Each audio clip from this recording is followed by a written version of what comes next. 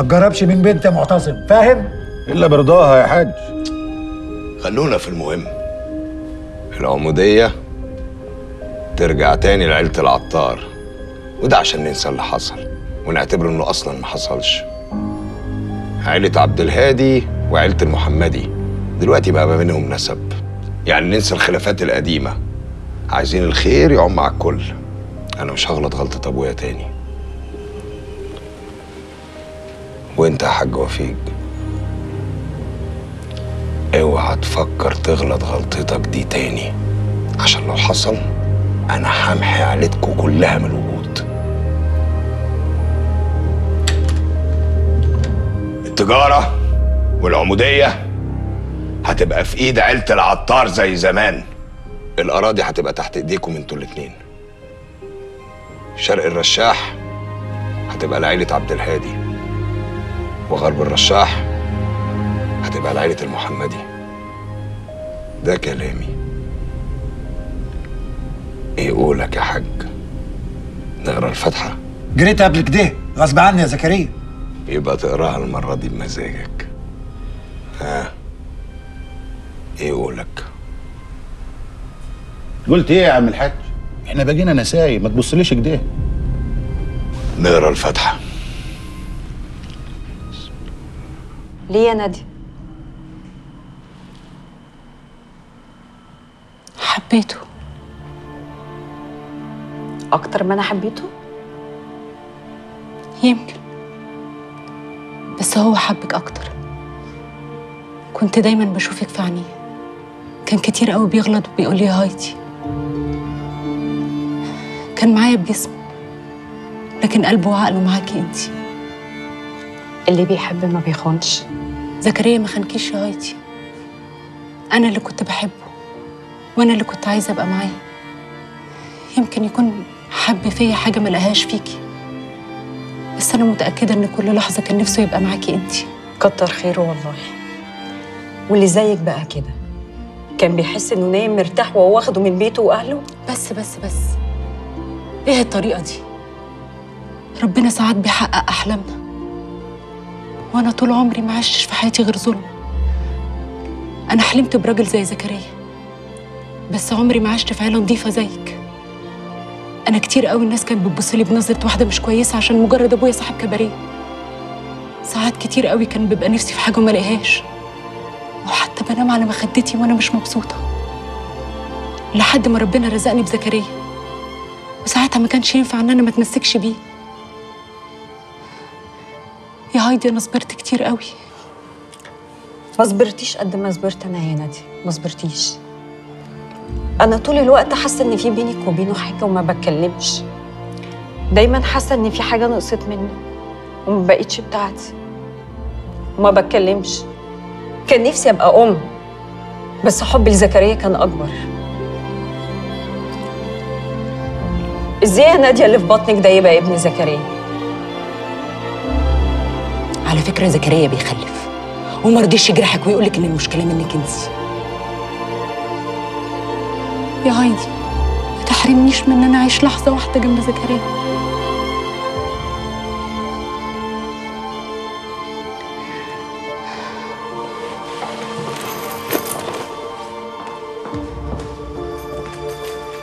أهلا أهلا أهلا يا سليم. أهلا وسهلا. اقعد يا فارس.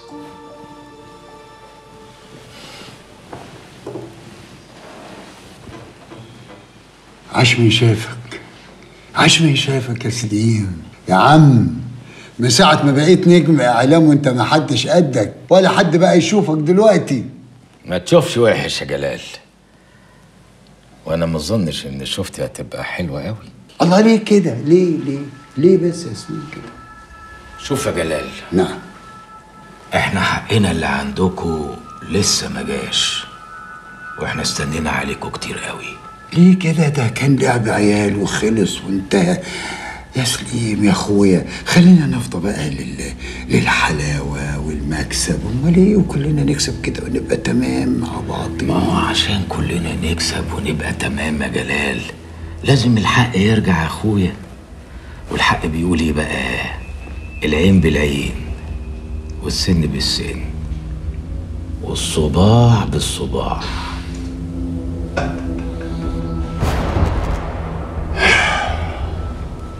ماشي السكة دي يا سليم؟ ما قلنا بقى إن ده لعب عيال وخلص وانتهينا. لازمته إيه الكلام ده بقى دلوقتي؟ على رأيك ملوش لازمة. ماشي يا جل بس فارس اللي هو صاحب الحق بره اللعبة. ومروان بره حق فارس. يا أخويا أي حاجة أنت عايزها من مروان؟ اطلبها منا انا إحنا ليك يا سليم رقبتي رقبتك. سدادة فعلا يا جلال. خلاص. قضي الأمر عن إذنك.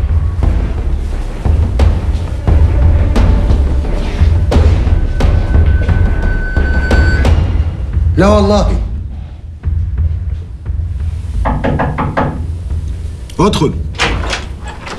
سيب بين عزازي بره يا باشا. خليه يدخل يا ابني. اتفضل يا باشا.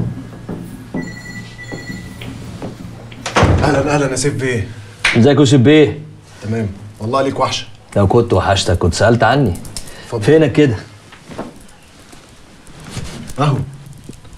بعدوني عن القضية. أحسن. ما تضايقش نفسك.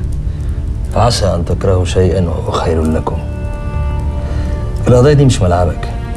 قضيه مش سالكة. انت اللي بتقول كده يا سيف بيه؟ انت كنت بتديني معلومات عشان نوقع زكريا. كنت غلطان. ده ربنا بيقبل التوبة. مش زكريا اللي انت بتدور عليه على فكرة. أنا عارف إنك بتقول إنك شفته. بس ساعات العين بتبقى خداعة.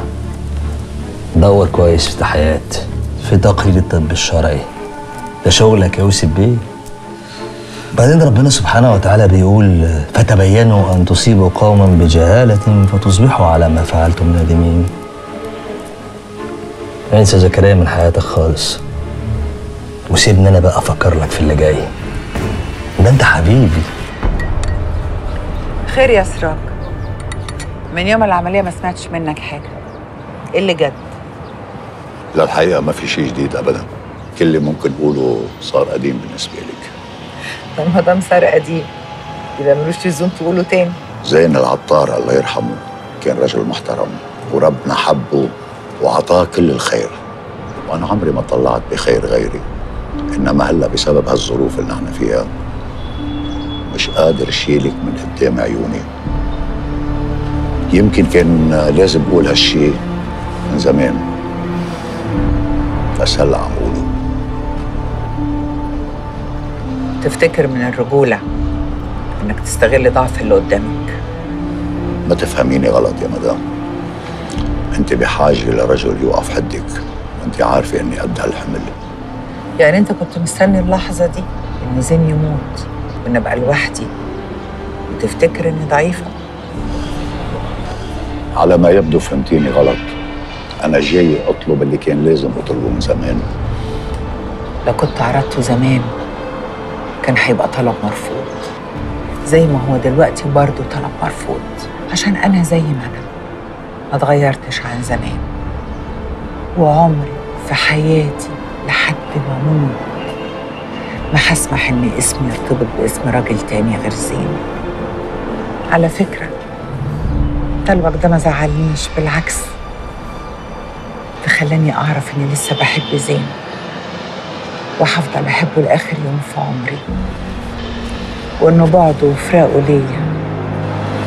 لا ضعفني ولا هيكسرني بالنسبة للكسر معاش ولا رح يكون اللي يكسرك. هيدي مضمونة. نورتني يا سراج شكرا على استقبالك.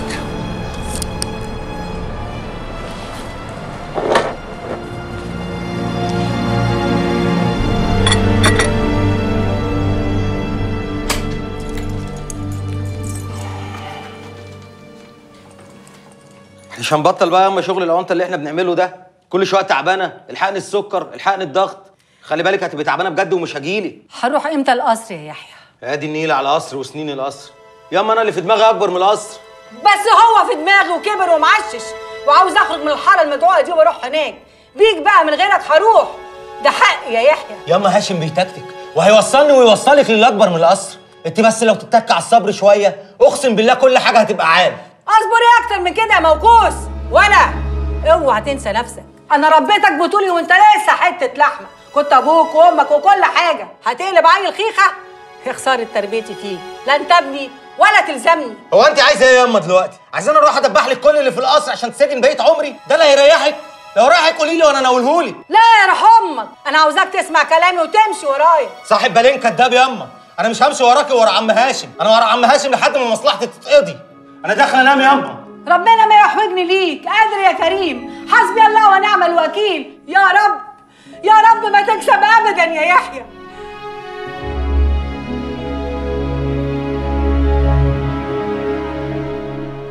ليه ياما ابتدى عليا ليه؟ ده اللي أنا فيه ده كله بسببك انت ياما ده أنا مش عايش غير عشان ارضيكي وبس. انت السبب في كل اللي بيحصل لي ده. انت اللي رضعتيني كوره زين العطار. علمتيني إن دمه حلال. وإن عداوته إيمان بربنا اللي ما بينساش. ما علمتنيش أبقى مكانه. ولا خليتيني أحلم بالقصر. وأتمنى أبقى عايش جواه. حرام عليكي بقى يا اما كفاية. صعب قوي كده يا أم وحي. ربنا ما رضاش بالظلم. ما رضيش بالظلم اللي هو عمله زمان. ولا هيرضى بالظلم اللي انت عايزة تعمليه دلوقتي. أنا سيبها لك وماشي يا اما